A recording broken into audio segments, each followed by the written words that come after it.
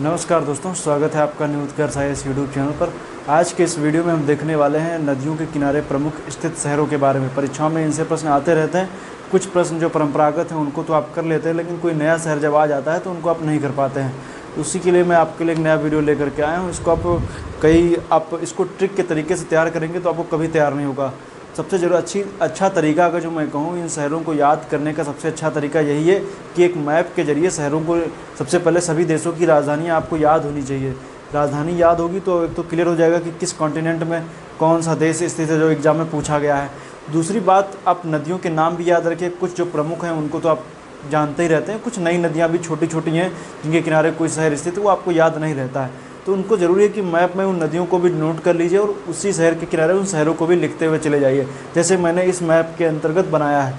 तो आप इस मैप इस तरीके से आप पढ़ेंगे तो आप तैयार कर लेंगे, वरना ट्रिक आप रटते रहिए। बहुत सारी ट्रिकें आपको आपको गूगल पे, यूट्यूब पे बहुत सारे लोगों ने ट्रिक वगैरह आपको मिल जाएँगी, लेकिन उन ट्रिक से होता क्या है, सबसे पहली बात है कि जो मैटर है उसको याद रखो, उसके बाद एक एक्स्ट्रा चीज़ है, उस ट्रिक को याद रखो। तभी आप ट्रिक को याद करने से अच्छा है कि मैप ज़रिए समझिए, क्योंकि अगर जो प्रश्न इधर उधर घूमता है तो ट्रिक भी आपकी फेल हो जाएगी। तो शुरू करते हैं, आइए नदियों के किनारे स्थित प्रमुख शहरों के बारे में। सबसे पहले मैं बता दूँ, इस चैनल को आप सब्सक्राइब कीजिए और इस वीडियो को लाइक ज़रूर कीजिएगा। तो आइए देखते हैं, शुरुआत करते हैं नदियों के किनारे स्थित प्रमुख शहरों के बारे में।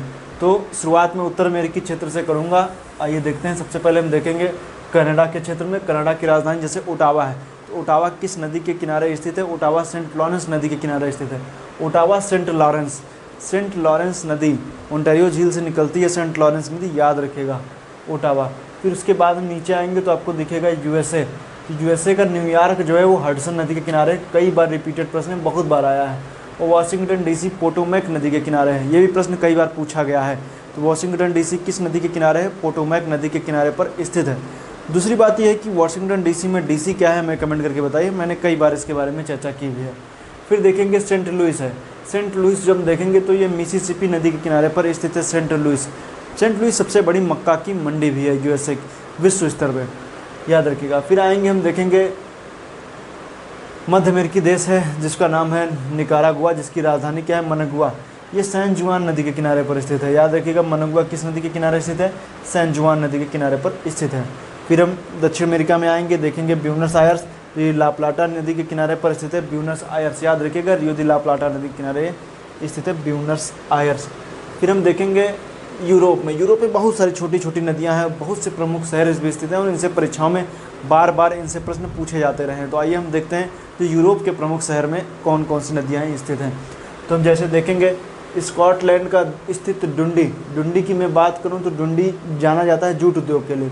और जो स्कॉटलैंड का डुंडी है, ये स्थित है टे नदी के किनारे। किस नदी के किनारे है? टे नदी। याद रखिएगा, डुंडी, टे नदी। फिर लंदन को हम देखेंगे तो टेम्स नदी के किनारे है। लंदन किस नदी के किनारे? टेम्स नदी के किनारे हैं। फिर हम देखेंगे पेरिस। पेरिस जो है वो सीन नदी के किनारे है और सीन नदी इंग्लिश चैनल में गिरती है। फिर लिस्बन को हम देखेंगे तो लिस्बन जो है वो टैगुस नदी के किनारे है। लिस्बन किस नदी के किनारे? टैगुस नदी के किनारे है। और जो ये किसकी राजधानी है? लिस्बन देखेंगे तो पुर्तगाल की राजधानी लिस्बन है। और मैड्रिड जो है, वो मेजेंसस नदी के किनारे है। मैड्रिड जो स्पेन की राजधानी है, मेसेटो के पठार पर स्थित है। तो किस नदी के किनारे है? मेजस मेजेंसस नदी के किनारे है। फिर रोम को हम देखेंगे। रोम जो है, वो टाइबर नदी के किनारे पर स्थित है और बर्लिन स्प्री नदी के किनारे है। याद रखिएगा, रोम जो है, वो इटली की राजधानी है, बर्लिन जो है, बर्लिन, जर्मनी की राजधानी है। तो ये स्प्री नदी के किनारे है पोलैंड की राजधानी है, वारसा, जो किस नदी के किनारे स्थित है? विश्चुरीला नदी के किनारे स्थित है। किक मूवी आप देखेंगे सलमान खान की तो उसमें इस नदी को दिखाया गया है, विश्चुरीला नदी, वारसा। याद रखेगा फिर एक प्रमुख नदी है, जिसका नाम है डेन्यूब। डेन्यूब नदी जो निकलती है, वो जर्मनी के ब्लैक फॉरेस्ट से निकलती है, और निकलने के बाद वो करीब कई देशों से होते हुए गुजरती है। उस, उन देशों में आप देखेंगे तो कुछ राजधानियाँ भी स्थित हैं। तो चार राजधानियाँ प्रमुख रूप से स्थित हैं, जो किस नदी, डेन्यूब नदी के किनारे पर स्थित हैं। तो डेन्यूब नदी के किनारे पर स्थित राजधानियों की मैं बात करूँ तो सब, सबसे पहले मैं पश्चिम से पूर्व की ओर जाऊँगा तो सबसे पहले राजधानी पड़ेगी ऑस्ट्रिया की राजधानी वियना। उसके बाद में आप देखेंगे तो यहाँ पर पड़ेगी बुडापेस्ट राजधानी, जो हंगरी की राजधानी है। हंगरी और ये है ऑस्ट्रिया। और उसके नीचे देखेंगे तो लिखा हुआ है बेलग्रेड, जो राजधानी है वियना की। वियना की राजधानी बेलग्रेड है। उसके आगे जब आप देखेंगे तो आपको दिखेगा बुखारेस्ट, जो राजधानी है रोमानिया की। तो ये चार राजधानियाँ बेना बुडापेस्ट बेलग्रेड बुखारेस्ट। ये चार राजधानियाँ पश्चिम से पूर्व पूर्व से पश्चिम, सभी तरफ़ से याद रख ली, किस तरह से प्रश्न बन जाए कोई जानता नहीं है। तो आइए देखते हैं, कीव कीव जो राजधानी है किसकी?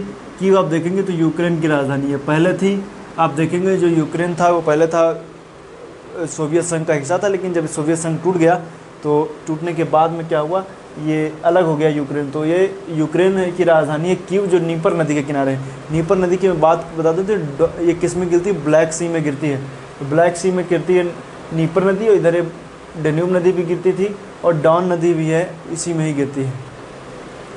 फिर आइए देखते हैं अफ्रीका में। अफ्रीका में देखेंगे तो ये नदी निकली हुई है काहिरा। मतलब कि नदी है नील। नील नदी की में बात करेंगे काहिरा नील नदी के किनारे, जो मिस्र की राजधानी इसी के किनारे आप देखेंगे तो गीज़ा स्थित है इसी की सब इसी नदी के किनारे पर ही मिस्र के प्रमुख शहर इसी नदी के किनारे स्थित हैं। फिर खारतूम, जो उत्तरी सूडान की राजधानी है, नील नदी के किनारे, इसी के नीचे पड़ेगा यहाँ पे जूबा, जो साउथ सूडान की राजधानी है, जो नील नदी और, नीली नील नदी और सफ़ेद नील नदी के मिलान स्थल पर स्थित है जूबा।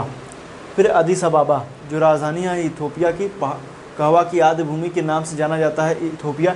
इसकी राजधानी अदिस अबाबा और जो अदिस स्थित है, आवास नदी के किनारे पर। फिर हम बात करेंगे किगाली, रवांडा की राजधानी किगाली। किगली संभवतः भी पर्यावरण से रिलेटेड उसको भी आप याद रखिए। ये रुगांगवा नदी के किनारे हैं। याद रखिएगा। फिर डरबन डरबन को हम देखेंगे तो ये उम उमजेनी नदी के किनारे पर स्थित है, साउथ अफ्रीका में है। याद रखिएगा इसको भी।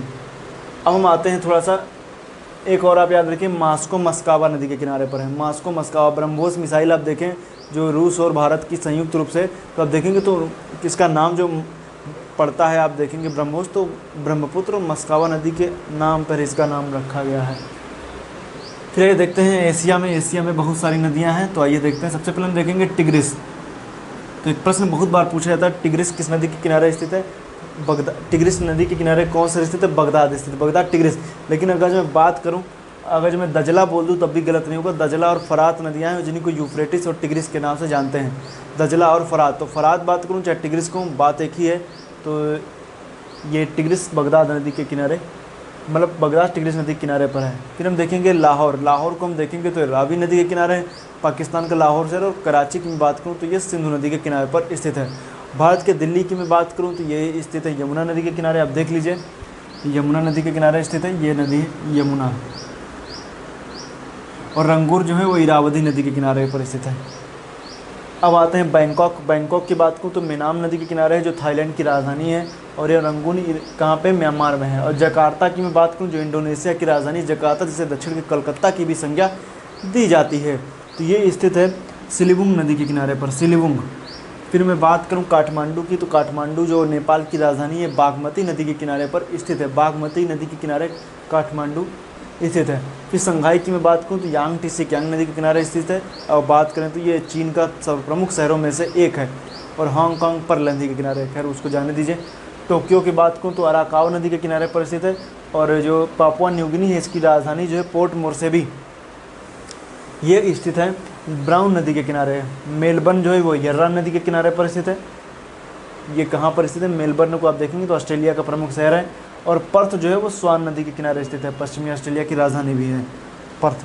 तो ये थे प्रमुख नदियों के किनारे प्रमुख शहर।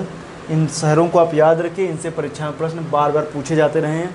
और दूसरी बात मैं बता दूँ, अब जोग्राफ़ी के कोई खास टॉपिक अब बचे नहीं हैं। जो दो चार टॉपिक बचे हैं, उनको मैं आगे बता दूँगा और आगे मैं कुछ नया सोचने की कोशिश कर रहा हूँ कि आगे अब क्या स्टार्ट किया जाए। तो मैं सोच रहा हूँ आगे जो पर्यावरण का सेक्टर जो छूटा हुआ है, उसको शुरू किया जाए। पर्यावरण में कुछ कभी सेक्टर बाकी हुए हैं, फ़ेमस मस्त तो खैर मैंने करा दिए थे, लेकिन पर्यावरण के कुछ सेक्टर बचे हुए हैं। उनको मैं जैसे प्रमुख आप देखेंगे, संस्थाएँ वगैरह हैं और भी जलवायु परिवर्तन हो गया है। कुछ टॉपिक ऐसे हैं जो मैंने अभी नहीं बताए हैं, उनको मैं बताऊँगा। और इकोनॉमिक्स की मैं बात बता दूँ इकोनॉमिक्स में किसी को देखने में दिलचस्पी है नहीं तो जो आपको देखने में दिलचस्पी नहीं तो मुझे भी बनाने में दिलचस्पी नहीं। बाकी अगर जो, जैसे मैंने देखा इकोनॉमिक्स का वीडियो मैंने पिछला एक डाला है, उसमें कुछ खास व्यूज़ वगैरह आए नहीं हैं तो मैं इकोनॉमिक्स को यहीं पे स्टॉप करता हूँ। आगे जैसे जैसे कंडीशन बनेगी, मैं इकोनॉमिक्स को ऐसा नहीं कि आगे वीडियो बनाऊँगा नहीं, लेकिन सब कुछ एक बात मैं बता दूँ कि इस, किसी भी यूट्यूब चैनल पर मेरा हो या किसी का भी सब कुछ आपके देखने के ऊपर निर्भर करता है। जैसे आप देखेंगे उसके अकॉर्डिंग वीडियो बनते जाएँगे। आप सब कुछ आपके देखने के ऊपर निर्भर करता है। तो मैं बता दूँ, जिसमें, मैं भी बताऊँ, जिसमें लोग ज़्यादा देखेंगे, वही चीज़ जो ज़्यादा पॉपुलर होगी, उसी को मैं आगे बनाऊँगा। बाकी साप्ताहिक करंट अफेयर तो मैं बना ही रहा हूँ, उसको तो बनाऊँगा ही। तो मैं उम्मीद करता हूँ वीडियो आपको अच्छा लगा होगा। वीडियो देखने के लिए आपका बहुत बहुत धन्यवाद।